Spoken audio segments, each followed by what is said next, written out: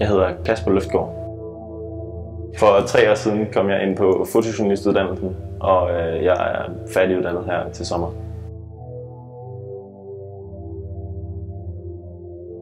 Øhm, min passion for fotografi startede, øh, da jeg gik gymnasiet engang.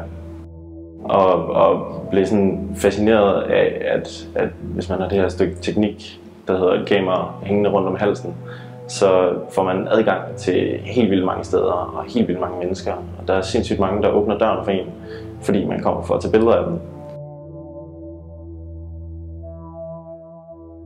Og så lige pludselig så er du, så er du med.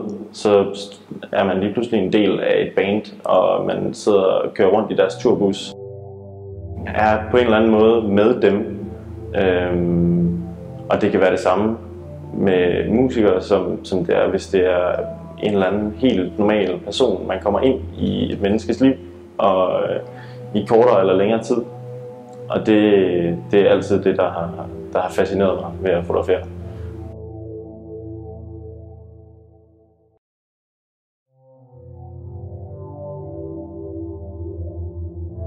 Jeg lavede et projekt med et dansk band, der hedder Go Go Berlin, øhm, hvor jeg, øh, det var, egentlig, det var egentlig lidt øh, et tilfælde, at det blev dem. Øh, jeg, jeg havde nogle venner, der foreslog mig, at jeg ringede til dem, og så ringede jeg til dem og sagde, hey, må jeg ikke, må jeg ikke fotografere jer øh, i, i et stykke tid? Og så var de sådan, om det vidste de ikke helt, men, men vi spiller i Aarhus i aften, så du kan bare komme forbi. Og så tog jeg ned og hilste på dem og, og drak mig fuld med dem, og, og så begyndte jeg bare at fotografere. Øh, og de var helt cool med, at jeg var over det hele, og stod ude og fotograferede dem, når de pissede, og når de skulle på scenen. Og, og, og de havde den her sådan 70'er vibe over sig. Og på en eller anden måde blev jeg bare bit af, af deres, hele deres sådan visuelle udtryk, og, og, og blev sådan slugt op af, af det, de lavede, og den måde, de var på.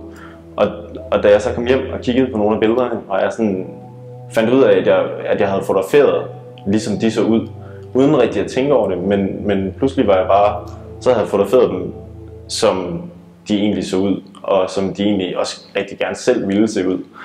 Øhm, og så ringede jeg til, til dem dagen efter og sagde, det, det ser sgu ret fedt ud, det jeg har lavet fra i går, så, øh, så kan vi ikke aftale, at jeg bare øh, hægter mig på jer og, og bliver ved med det en måneds tid.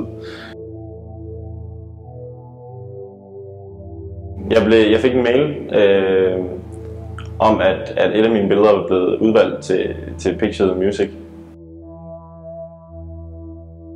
Jeg tog til, til en af de, øh, de talks, der var med, med Joachim Ladefod i, i Odense, hvor jeg gik op og snakkede med ham, og hvor, hvor han sagde, at, at han ville godt kunne lide et af de billeder, jeg havde sendt ind.